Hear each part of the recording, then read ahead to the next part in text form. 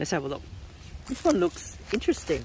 We don't know whether it's a porcini Or birch or a birch bolete. Why? Because Or neither. What is it? I can't tell. I think Has it got gills or has it got... no, no, it's got pores. It's definitely a bolete, but it's almost like a Cross. a cross between a birch bolete and a porcini because it's it's got that right, which is usually on the birch bolete, but Mm. not a lot.